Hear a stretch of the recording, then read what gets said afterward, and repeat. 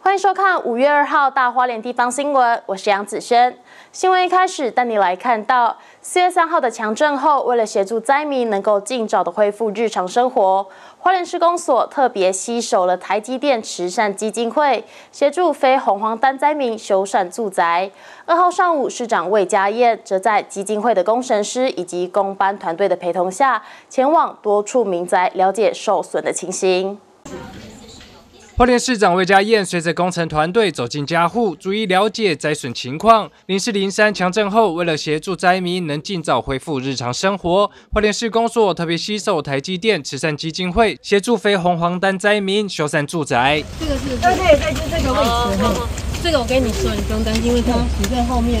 你看，你这是加起来的墙，对不对？我们目前大概已经收了两百七十件哦。那呃，到昨天啊，我们来这边的第十七天，我们已经完成了七十三间的修缮。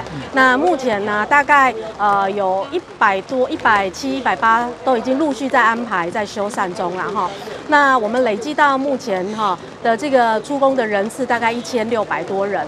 那机具的部分呢，大概进驻了两百多台。那我们持续的啊协助我们。花莲的乡亲来进行这些修缮。二号上午，市长魏家燕在基金会工程师及工班团队的陪同下，前往多处民宅了解受损情形，也感谢台积电慈善基金会这次用行动驰援花莲。目前优先处理的大概就是你没有被贴单的这个部分，没有被贴红单跟黄单，那结构上没有疑虑。那还有就是我们优先处理我们就是比较弱势的一个家庭，包括低收、中低收跟。